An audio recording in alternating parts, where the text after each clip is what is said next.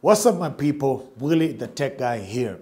And you know, uh, in part of the line of the trade that I do, I get to review a lot of phones, and that means once in a while changing your main SIM card or your daily driver, you know, from this phone to that phone, so that you can be able to get the best of the best in terms of review and your personal experience. That uh, we're able to compile that in a video and do that for you and bring it to you.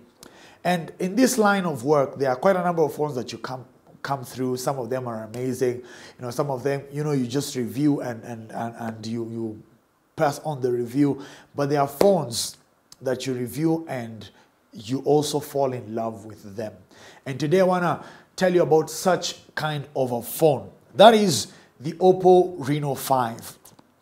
I've been using the Oppo Reno 5 ideally since launch or even way before launch and uh, I've used this phone for such a long time. I've used it as my daily driver. I've kept it also as one of the phones that I use. And I just wanted to give you a lowdown about how this phone runs six months down the line, my experiences about this, and to also tell you whether it's still a worthwhile phone to buy right now. So this is the Oppo Reno 5 six months review, six months down the line. I've been enjoying this phone all the way from, from uh, February. I've loved every element of this phone.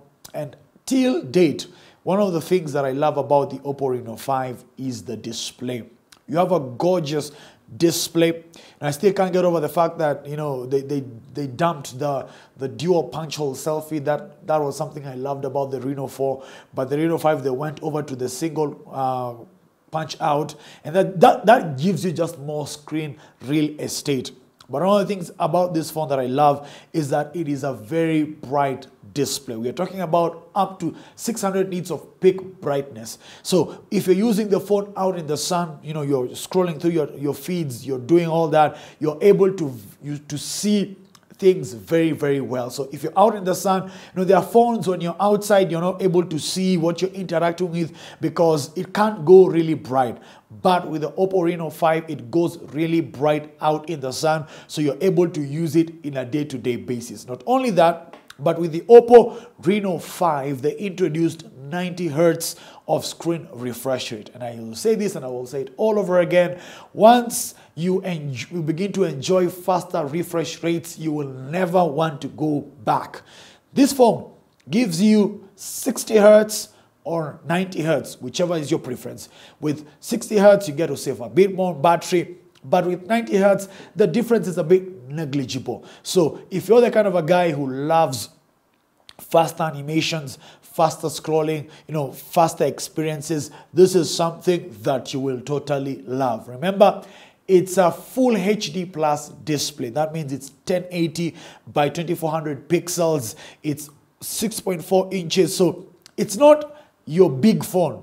Neither is it your small phone. It's just the right perfect size. So anything around 6.4, 6.5 is good for those who don't love magnanimous phones. Uh, you know, the 6.9 inches there, and, and good for people who don't love the small phones. So you have just the kind right of screen real estate to work with. And this phone comes with Corning's Gorilla Glass 3. And let me say something about that. I've been using my phone since launch without a screen protector. And this is six months down the line. I don't have scratches. I don't have breaks. You know, I ideally have been able to enjoy my phone. You know, many times people want to run for the for the screen protector. It's something good. It's a nice addition. You know, it saves you the hectic of you know what happens if my screen scratch uh, or falls and breaks. But let me tell you, uh, I've been using mine without a screen protector. Uh, actually, it still has the the pl plastic uh, protector that it came with when, when you ideally buy it. And that's what I've been having it. And use it daily and it's been good. No scratches, no dents, no nothing. So I like the fact that it's a phone that you can use daily even without your screen protector and you get to enjoy all that amazing nice screen estate. When you also look at the display, there is something I love uh, in the settings, in the software that you're able to look at. There's something, you know, we call, uh, I, I, don't, um, it's, it's a, uh, it uses the camera to sense if you're looking at the screen. So that if you're using your phone, uh, it does not go off. so that you know at times maybe you're, you're you're brainstorming you're writing something you know you're you're trying to come up with an idea and you're looking at the phone and you don't want it to go off. So as long as you're using the phone or you're taking notes or something like that, as long as your eyes are on the phone, the phone detects that and it avoids going into sleep and switching off so that you're able to have your phone ready on the go if you are typing notes and you know if you're thinking about something. And these are some of the things uh, that are embedded in the UI and make the experience of the display of the Oppo Reno 5 something very amazing. Now remember, the phone is still powered by the Qualcomm Snapdragon 720G processor. It's an 8 nanometer processor, so it gives you great, amazing performance. Uh, the, the, the, the system updates, well, uh, they can Oppo can do better, but I, I think ideally, you know, they've, they've been quick with their their quarterly system updates and they're able to keep the phone in check. One of the things I loved about the most recent update is that it gave us the ability to have what we call RAM expansion. Now, out of the box, the Oppo Reno 5 comes with 8 GB of RAM and 128 gigabytes of storage. Now, 8 GB is good enough for most people. But for super users like me, at times I find a bit um, I, I, I task my phone to the extreme. So you can find it a bit sloppy. But with the RAM expansion, that gives you the ability to increase your RAM either by 2 GB, 3 GB, or up to 5 GB. Ideally, now I have a phone that is 8 GB out of the box, but plus 5 GB, which means I literally have a 13 GB RAM phone. And that has taken my experience to the next level. Now, gone are the days where you know I, I could open apps, keep them in in in uh, in the app memory, and go back and, and find that that app has shut down. Now I can go back to exactly where I was, and that's one of the amazing things that has happened with the latest software update that gives you the ability to expand your RAM. So this is something that I love. That you know, in as much as it was a good phone I've made it a bit better with those kinds of updates. One other interesting thing that has also improved with the software updates is the camera experience.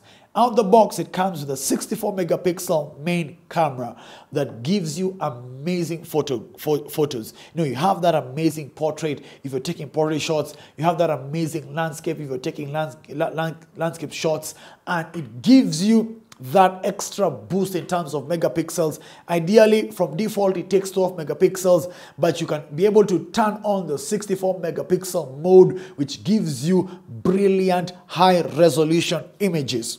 It also has the 8 megapixel ultra wide, 2 megapixel macro camera, and the 2 megapixel depth camera. Now, this phone comes with quite a lot of camera features. You know, you have your AI video, you have your dual video, you have all these amazing things that are that are embedded in the camera interface that help you get all that amazing things in terms of camera. Now, most of us don't get to use all those features daily. But the features that we get to use daily, ideally chuck your phone out of your pocket, go into camera mode, snap that picture, it gives you amazing pictures. And with the software updates, the camera mode or the night mode of the camera has become way much better. So, not only do I now enjoy taking photos during the day. I also enjoy taking photos in low light conditions and even at night because the overall experience has become greater with software updates and the camera is really capable. So when you go out at night and you're taking photos, they really are very crisp. I'm gonna uh, just attach some of the pictures that I've taken at night with the Oppo Reno 5 let me tell you, there are quite some interesting kinds of pictures. And so the night mode experience in the camera department has become amazing. And not only that, but even the overall camera experience is good. Takes high resolution images. They're really crisp, they're really sharp. When you go over to portrait uh, selfies, the edge detection is, has, has become better. So you're able to have that kind of what we call that bokeh mode where you are in focus. If you're taking a, a, a, picture of a, of a being or you're taking a selfie of yourself, you're in focus and it kind of blurs out your background. That's something that has become better with updates. It was good, but it became better with the updates. So The display is one of the things I love, I totally love about the Oppo Reno 5.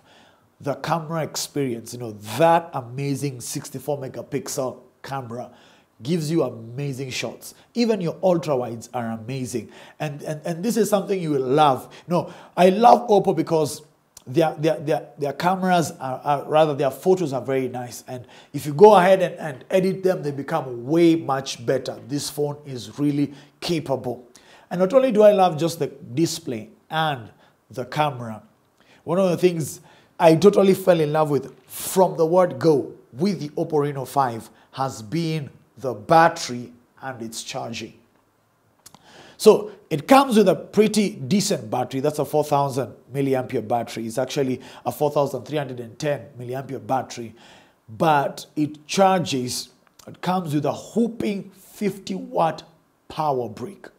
So this thing juices up in around 40 to 45 minutes.